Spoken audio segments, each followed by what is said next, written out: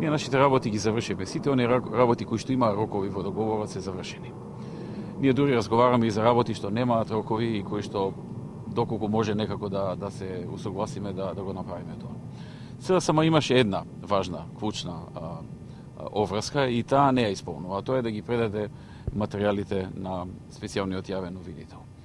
А, очигледно е, очигледно е дека Заев сака да ја одбегне оваа оврска, очигледно е дека сака да направи а, ситуација во која што ќе се одложат изборите.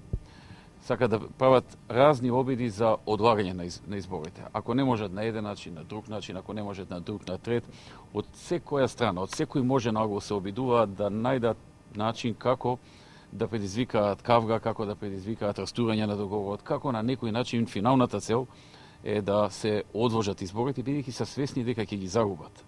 Бидејќи го чувствуваат пулсот на јавното мислење кое што не подлегна на на манипулациите кои што во текот на оваа година СДСМ ги правеше со се она што го направи во државата и со обидот да ја дестабилизира државата, ставајќи ја во голем ризик, ставајќи ставајќи ги сите граѓани како заложници.